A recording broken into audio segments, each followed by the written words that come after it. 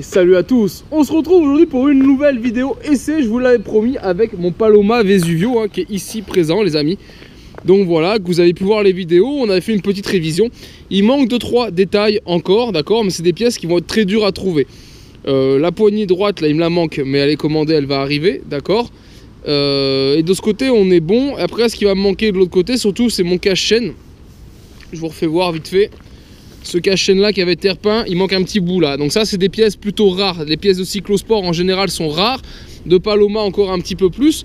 Donc voilà, du coup, ça c'est des pièces qui vont prendre beaucoup beaucoup de temps à arriver. Donc voilà pourquoi on va quand même faire l'essai. Ah si, il me manque le petit cache aussi ici de mon Komodo qui fonctionne, hein, pas de souci, j'ai vérifié le câblage mais il manque le petit cache dessus. Donc voilà, ça c'est des pièces qu'on aura par la suite, mais qui sont très très dures à trouver, donc on va pas se prendre la tête tout de suite. C'est des pièces qui arriveront dans les années à venir, hein. clairement on parle en années, c'est pas des pièces que je vais trouver même en quelques mois. Hein. Il y a peu de chance, à moins que quelqu'un voie la vidéo, il me dise ok j'ai de la pièce et j'ai de quoi la compléter, bah dans ce cas là, je t'en remercie d'avance et n'hésite pas à me contacter. Donc allez, on va ouvrir l'essence les amis. Hop là, voilà, ça c'est bon. C'est un petit peu gras, ça a sointé depuis hier. Donc l'essence est ouverte, le Komodo est en position, donc là normalement on devrait pouvoir démarrer. Donc un petit coup de starter, il suffit de pousser ici. Donc euh, ouais là on est bon, voilà. Et on va mettre un petit coup de pédale. Et voilà les amis, donc on va laisser chauffer un petit peu le moteur. Donc là c'est tout bon, on est nickel, le temps pour moi de m'équiper, mettre les gants, j'ai dans ma poche mon application, ah voilà elle est froide, j'ai mon application smartphone pour les kilomètres, pour enregistrer la vitesse de cette Paloma. Voilà, je vais la tenir un petit peu au gaz. Mon ralenti est un petit peu bas, mais le problème de ralenti, il faudra le régler à chaud. Et pour l'instant, tranquille. Allez, voilà les amis, ça tourne, c'est bon, j'ai pu enlever le starter. Je vais monter dessus, régler la caméra. Voilà. Pour essayer de vous filmer ça correctement. Et on est parti pour un petit essai Hop, j'espère que ça ira pour les images.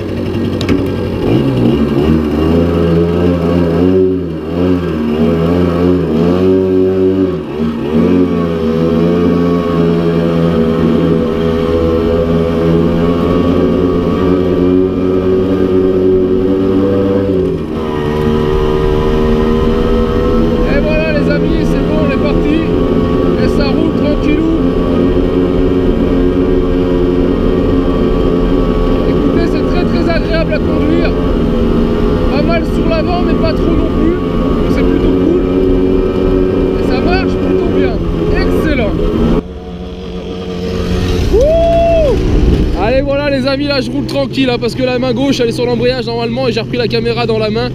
Ça roule nickel. Euh, la première un peu dure à passer c'est un petit coup à prendre sinon point mort deuxième parfait.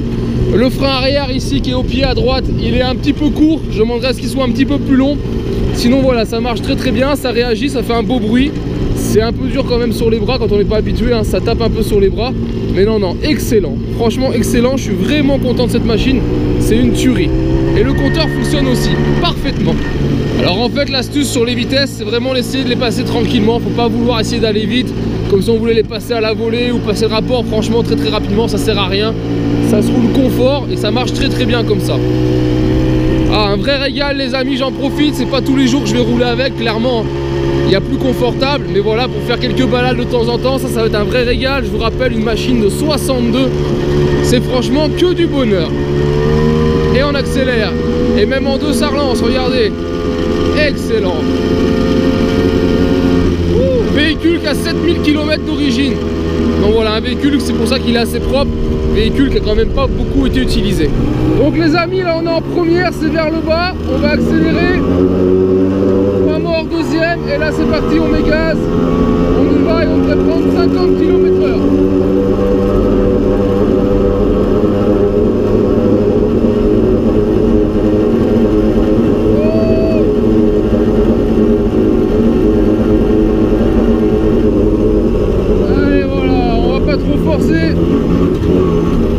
Excellent.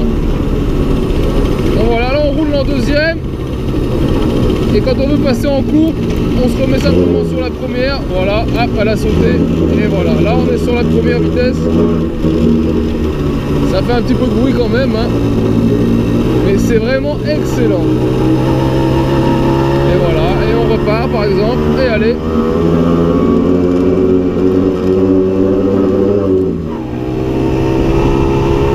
Donc ça vibre, hein, on entend quand même résonner la caisse, c'est la boîte à outils surtout qui résonne. Et voilà, très très agréable à conduire. Excellent. Allez les amis, je me suis arrêté. Je voulais vous faire voir ceci. Le Komodo là, on manque quelque chose, il manque le cache. Mais si on était vraiment à fond, on a un coupe-circuit. Après, on a les feux en fonction. Feu de position, par exemple. Et si je continue à monter, vous allez voir, ça change. Voilà. Il y a plusieurs positions, d'accord? Il y a trois ampoules. Donc vous avez le feu de code position et vous avez le code et le feu de route. Voilà. Donc voilà, ça c'est plutôt cool. Donc voilà, l'avant ça fonctionne tout bien. L'arrière, euh, là je suis en position, si je me mets comme ça, c'est lequel? Ah bah l'arrière fonctionne plus. Ouais. J'ai l'impression que mon arrière a grillé, vous voyez, il marchait hier quand j'ai fait mes essais.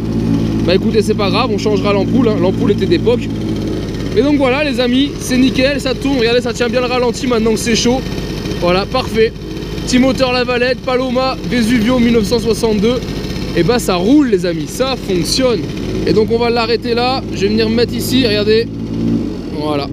J'ai poussé le bouton, je fais coupe-circuit. Je pense que dans le cache, il y a un petit truc qui vient encore en plus, mais ça fonctionne quand même. Donc voilà, et on va donc fermer l'essence. Voilà, comme ceci. Et moi, je vais la remettre, je vais essayer de redémarrer un coup pour vider le carbu. Hop, voilà, je suis à côté. Allez, voilà, ça tourne, ça va s'accélérer. On va laisser le carbu se vider. Mais voilà, et ben voilà, c'était vite réglé. Il n'y a pas une grosse réserve sur ce petit carbu. Donc voilà, on l'a dit, véhicule bridé. Véhicule bridé qui est censé prendre dans les 50 km/h et qui, au niveau du compteur, les a pris en roulant. Donc voilà, ça va être le moment de vérité avec le smartphone. On va voir ce que donne cette Paloma Vesuvio full stock. Allez voilà les amis, je viens de regarder sur le téléphone. Et bah écoutez, on s'approche de la vérité. On est à 49,4 km h Donc c'est cool. On aurait dû arriver à un peu 49,7 ou un truc comme ça. Donc en gros 50, on est dedans. On est en plein dedans. Donc elle marche très bien comme un véhicule euh, origine. Ça c'est top. Donc voilà, rien à dire, je suis vraiment content les amis d'avoir cette machine. C'est mon premier cyclosport clairement. Donc voilà, moi ça me fait vraiment vraiment plaisir. Elle est dans un très beau jus. Voilà, le levier de frein, je vous disais qu'il est un petit peu trop court, c'est bizarre. Vous avez tendance à avoir un peu le pied au milieu ou être sur la pointe, il, demanderait à revenir, être un petit peu plus devant, mais ça c'est pas l'habitude de la moto. À l'époque ça devait être sur mode comme ça, sauf que le levier n'a pas l'air d'avoir été trafiqué. Mais donc voilà, et ça marcherait très bien, c'est pratique d'avoir le frein arrière au pied, euh, franchement moi ça me, ça me fait kiffer. Donc voilà, le klaxon je voulais pas tester sur la vidéo mais il fonctionne aussi, donc voilà. Voilà les amis, la Paloma Vesuvio, si elle est pas belle, ah, je suis vraiment content, vraiment content de laisser. On voit, j'avais remis la petite pompe et tout aussi. Donc voilà, je vous disais, il manque quelques pièces que voilà, il va falloir que je trouve. Mais voilà, elle est là, elle est là et ça roule, franchement, je kiffe. Allez voilà les amis, un essai qui se termine avec le Paloma Vesuvio. N'hésitez pas à me laisser de la commentaire et dites-moi ce que vous pensez de cette machine. Si vous avez trouvé ça cool ou pas, si vous avez déjà eu la chance d'en conduire, n'hésitez pas, ça me fera plaisir de partager mon expérience.